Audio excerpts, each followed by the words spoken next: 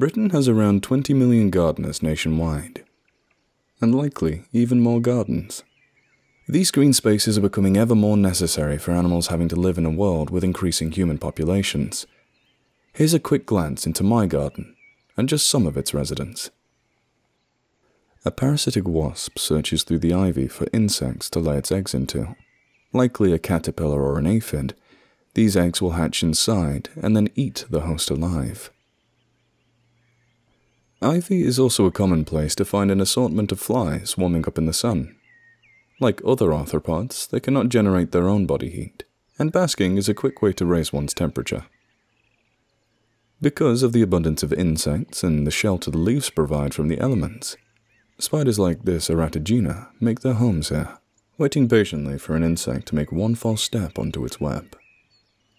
Upon the stems and leaves of many plants, different species of aphids drain sap in great numbers, these bugs are able to proliferate despite being easy pickings for predators due to not only being able to reproduce asexually, but being effectively born pregnant. If we take a quick look under this brick, another part of this tiny world is revealed.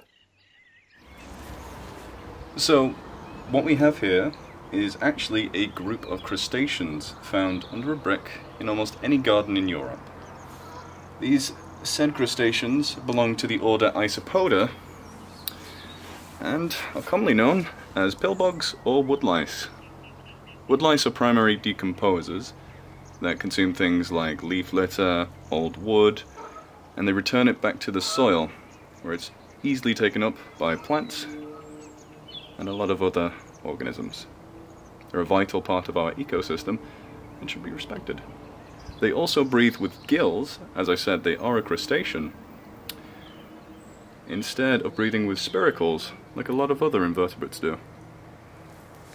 But that being said, that means that they can't survive in places with low moisture. Alongside the woodlice under rocks and leaf litter, centipedes hunt for small invertebrates, which may also include the offspring of their own housemates.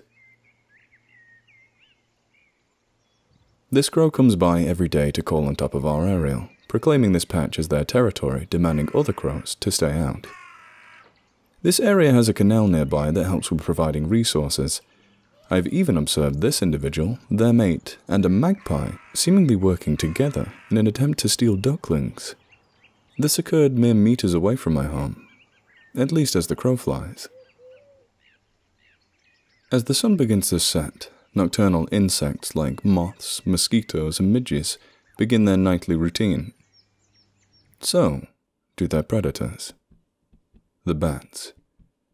There are more than 1,200 species of bats worldwide. They are so successful and numerous, they make up 20% of all classified mammals.